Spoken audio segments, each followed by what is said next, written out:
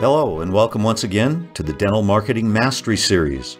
This podcast is brought to you by DentalWebContent.com and New Patients Incorporated. I'm Howie Horrocks, the founder of New Patients Incorporated.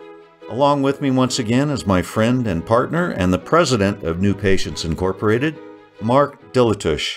Welcome, everybody. This is Mark Dilatush. This is uh, Howie's not here. He's golfing or cleaning dirt off of his porch or something. He lives in Las Vegas, so he may be shading himself or drinking water or looking out into the sky wondering why no birds exist in Las Vegas. But um, we are here. We have a special guest. Lee Buzard is a senior advisor here at New Patients Inc. Lee, say hello. hello. How is everything? How, how are you, Mark? I'm doing fine, sir. um, I, I want to know what the deal is with the lack of love for people that live in the desert. I mean, I'm i know, I know. I, I, make fun of you too. Um, so, you know, Howie and I do these podcasts weekly, and we talk about, um, you know, many of the lessons we've learned over the years to try and help dentists be more effective in their own marketing or even our own clients understand the the science and the research and the statistics behind the work we do for them. Um, and maybe even spawn some ideas um, and some actions on the part of the audience where they can go out and uh, introduce the wonderful benefits of today's dentistry to the people surrounding their practice. And um, who knows maybe even save a life or or turn somebody's confidence around. So that's that's what howie and i do and i was thinking about it. And i thought to myself you know we've never done a podcast on being an advisor not not necessarily being an advisor but the the thoughts and the workflow and the prerequisites that an NPI advisor has to go through before they can settle in on a marketing plan for someone. Because I mean, wouldn't it be cool if we could make, you know, the hundreds and hundreds of people who are connected to this um, this podcast, actually thousands now, um, listen to this podcast. Wouldn't it be cool if we could make them mini advisors, right? Where they yeah. go through the same mental um, analysis, uh, the same asset liability um, list, and the same prioritization of their marketing budget that our advisory team does. And, and without, I don't want to understate the obvious, but an NPI advisor, where there's four of them, uh, five of them actually on staff here at New Patients Inc. They're responsible for analyzing a market area uh, and analyzing the dental practice and then building a marketing plan which is um, within the doctor's budget and uh, within the range of expectation that the doctor that, that we have communicated to the doctor. In other words we believe this is going to generate x. So that's the advisor's role and then once the plan is agreed upon then it goes to our production and our campaign managers to actually deploy. So, gee, Lee, I mean, you get you get all kinds of dentists who complete their online survey on our website and ask you for all kinds of things. Um, what are some of the biggest misconceptions that dentists have when they engage an advisor like you? You know, I, I think one of the, the the biggest would be if I just throw enough money at this, it's going to solve all my problems. I, I throw enough money and spaghetti against the wall, it's it's just going to work. And and that's a discussion that, that I have so many times about about you know doc, what is your goal? What what are you what are you looking for? What type of patient are you looking for? Are you looking for that long term patient? Are you looking for just butts in the seat? What are you looking for? And so many times, docs come to me and they they say, "Hey Lee, you know, I've spent X amount of dollars for the last year, two years, five years, whatever the period of time is, and I keep throwing just money here, there, and everywhere, and and it's just the lack of a plan." And and so, you know, they come to me saying, "Help me. What do I do?" Yeah. So the so really the plan. Yeah. Yeah, just just some kind of an organizational or some kind of structure, right? Um, okay, so when they come to you and they say, you know, I I'd like to have you build me a marketing plan. What are some of the things? What are some of the things you look at as far as assets and liabilities? Sure. So assets, um, you know, I, I, look to see how many operatories they have. Um, I, I, look to see what what's on their team, how many hygienists. A big asset, you know, availability. What what times of the day are they there? What days are they there? What days are they not there? Um, I look at their internet strategy. Uh, you know, is, is, it a great website? Is it a res- fully responsive website, meaning it can be seen on any size device from a smartphone to a tablet to a laptop to a desktop? You know, what is available to them? Do they have Google reviews? Um, you know, what marketing have they done in the past? How has that positioned them in the community's thoughts of what type of dentist they may be? So there's so much um, revenues. You know, definite practice revenues. That's something we look at as well. Yeah, you have to multiply a percentage times something, right, to come up with a budget, right? Absolutely, absolutely, and and you know that's that's where we really set ourselves apart as a, a full service marketing firm, you know, for the world of dentistry. Uh, you know, NPI, we do it all. You know, it's it's all under one roof, and it's, it's nice for a client to be able to just to reach out to one person or one team and and say, what's next? How do I handle this issue? You know, um, and so when we when we're looking at somebody initially and we're looking at revenues, you know, we try to guide them. You know, we always say rule of thumb is about five percent of gross production for the year. Now that's just a rule of thumb. If you're in Manhattan, guess what? Oh my God! you're gonna you're gonna spend more than five. you know, you're gonna spend 17, 18. You know, you're because of the population to dentist ratio. What does that mean? How many people are per each um, provider.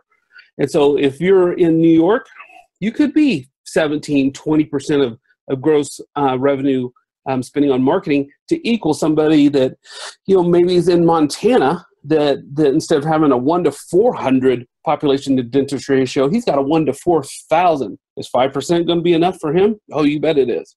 You know, right. Um, he's, he's going to dominate the area. So we have to calculate all this you know, we don't that New Patient Safe, we do not just pull a box off off the shelf. It's not like progressive. You grab a box here, grab a box there. You know, what marketing plan would you like? You know, every marketing plan is custom to each practice's revenues, goals, needs.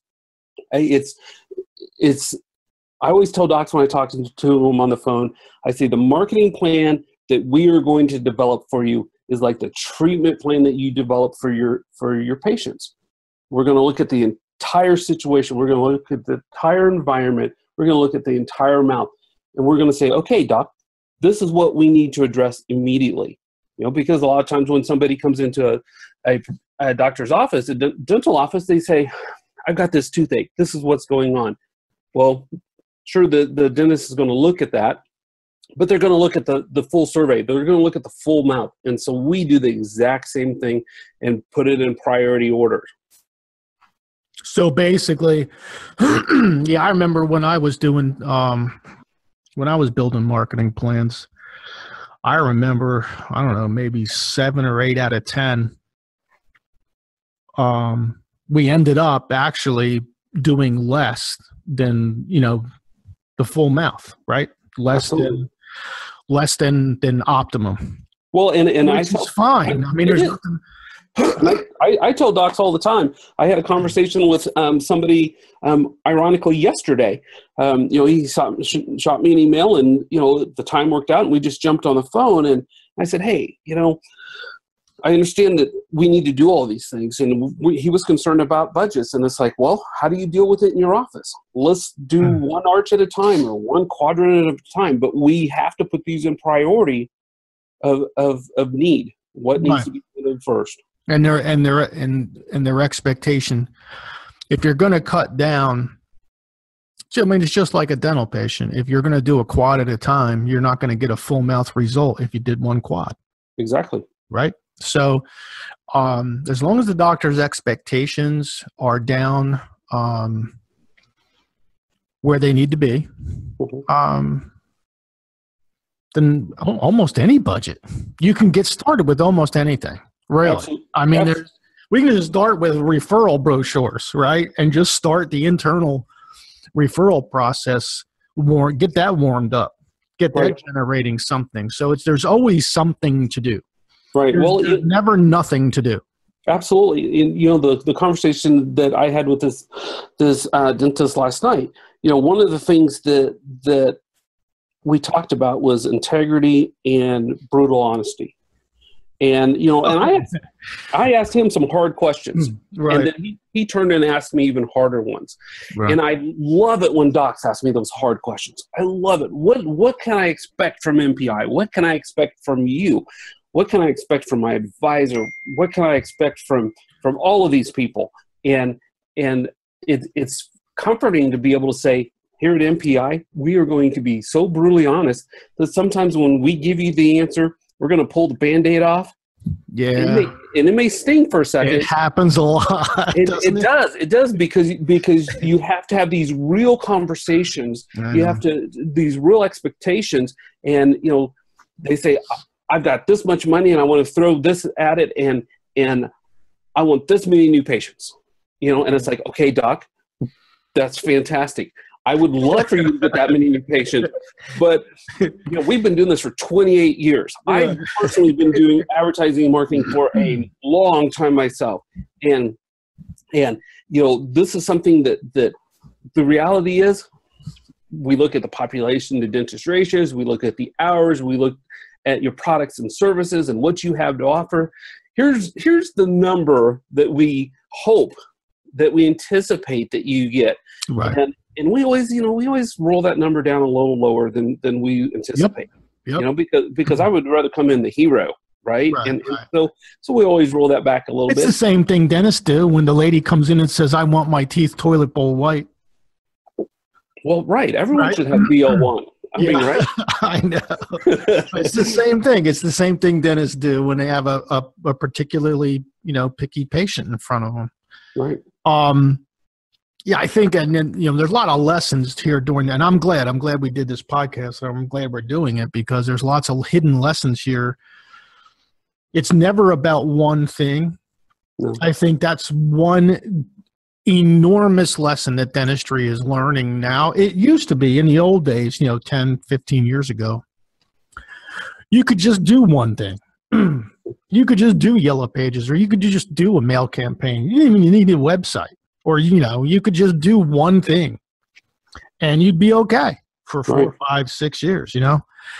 And, um, now it's no longer unless you're in Montana that market that one that that that unicorn market that you were referencing before the one to four thousand Right. um, you know, for the rest of dental America, it's no longer one thing. No. You have to do it all right. and um, this is why, and, and where the, the, the, quadrant or arch dentistry eventually leads itself to a nice, strong, cohesive, predictable machine, basically, that Mhm. just chunks out phone calls Yeah. or online appointments and they just come in and it's something that you know they don't they no longer really have to worry about you know rather than the um, marketing company du jour that almost every dentist goes through at least once a year You know, who Right. am I going to choose to do my marketing this year? Yeah. I'm going to choose to do my marketing next year. Let, let, let me jump in on this if I could, Mark, Yeah, because sure. because it, it it brings up a talk, you know, a conversation about level of integrity. Okay, and and all the advisors at NPI, you know, this is the level that that, that they live in. Okay, Mm. and and I've I've had people come to me and say, I want to do television. I want to do radio." Okay.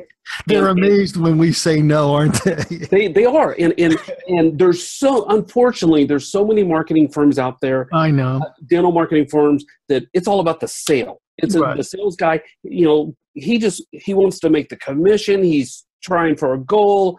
Right. Sure, doc, we'll get you a TV spot. We'll get you a radio spot. You let's make it happen. Sign here. God bless America. The problem with that is is they don't have the integrity, and where NPI does that. That when I have those conversations, I say, okay, wait, let's take a deep breath.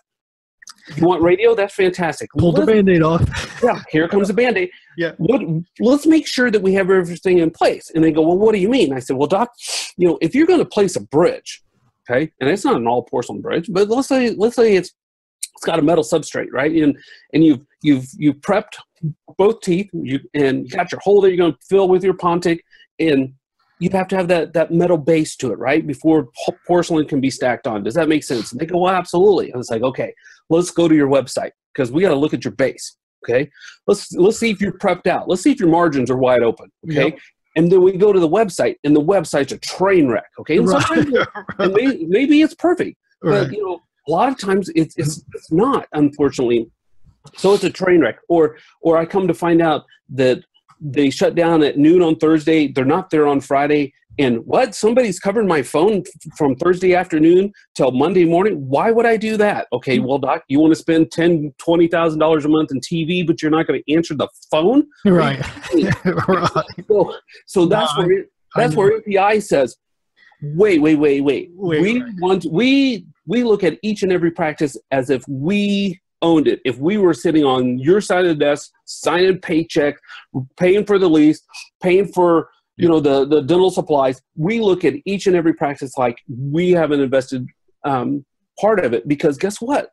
You know, we may not be on your payroll, but we're on your team, and it is our job to make sure that our team does the best thing that we can for that practice. And sometimes we have to pull that band aid and say, Doc, you can't do this yet. Yeah, sometimes it's not really popular. No, it's not. Mhm. And, and and so then what happens? They disappear. And then I get a phone call or I get a Facebook message or somewhere Two else. years later, right here they come. yeah, my phone lights up and says, "Hey, do you remember me? You know, you you told me that that I can't send you know a mailer to everybody in the zip code because I'm wasting half of my marketing dollars. right. you know, because I'm sending a message that's going to alienate one half of the market. Or do you remember me? I want to do that radio spot in my local area, and you told me my website was horrible and I shouldn't do this. Do you, I get these. Do you remember me calls? Right, right. And guess what? Those those clients, they remembered my integrity. They remembered NPI's integrity, saying, "No, yes, we would love to have you as a client, but no, we're not going to do this because we know it's not going to be successful." What do Right. they become? They can become our cheerleaders. Yeah, later on down the road, they they do, and and um, you know, Lee, you and I, we're gonna have to do another one of these at some point because we are we're running out of time. Um, because there's so much more the audience can learn from someone who does nothing but deal with the audience, right? Right. and and um you know it can it can help it can absolutely help everyone listening to this um be an, an informed dental marketing consumer. That's what we want. That's what we wrote the book. That's why we put the marketable attributes scorecard. That's why they're free downloads.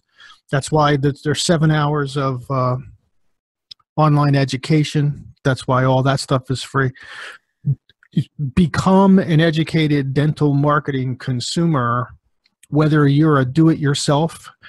Uh, I, I know lots of doctors who really get into the nuts and bolts of dental marketing, tracking, analyzing the numbers, and making a tweak, and and you know watching the difference, whether it goes up or down to them, they're still happy. They just want to see the difference at whatever change they made.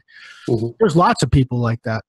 they definitely need to be educated. And even the ones who might be just entering the dental marketing space mm-hmm. might be a little fearful of the 9,475 people who call themselves dental marketing companies, right? Yeah. yeah. Um, so no this is good and lee I, I, really do i thank you very much for your time today um, if anybody would like to reach out to lee to discuss their practice it's lee l-e-e at newpatientsinc.com lee what's your direct line 702 799 9016 and and you know like mark said i mean i you know i'm happy to to talk to to anybody let's kick the tires. Just sit back, have an iced tea, and and, and, and talk about this stuff. You know, it's, it's the getting the conversation started is one of the most important things. You know, you got to take that first step. Yep. All right. Thank you very much, Lee. And to the audience, we will see you for the next podcast. Bye bye. Take care. Hope you've enjoyed our podcast today. You can find more podcasts on our YouTube channel, on Stitcher, and iTunes. Also on our websites, dentalwebcontent.com and newpatientsinc.com.